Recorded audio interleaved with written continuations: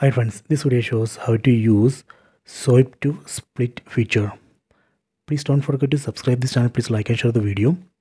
First go to settings. Tap on the settings app icon. Go to display. Go down. Here we can see swipe to split. Tap here. First we have to enable this feature. Swipe to split. Tap here. Done. See now I have enabled uh, swipe to split here you can see the demo how to use it. Here we can try it out. Tap on try it out. Then we have to swipe like this using one finger. From left swipe to right then go back to left. Like this. See? Let me go back. Let me try this. Let me open two apps. Let me open play store. Then google uh, this files app.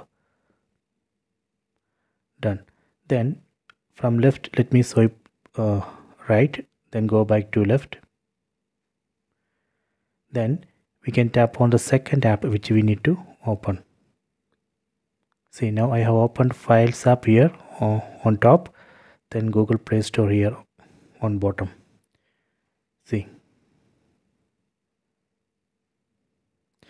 if you want to close one of this app for example if you want to close this files app we can just swipe up see.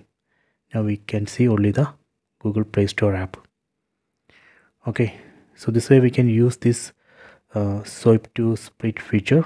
I hope you have enjoyed this video. Please subscribe this channel. Please like and share the video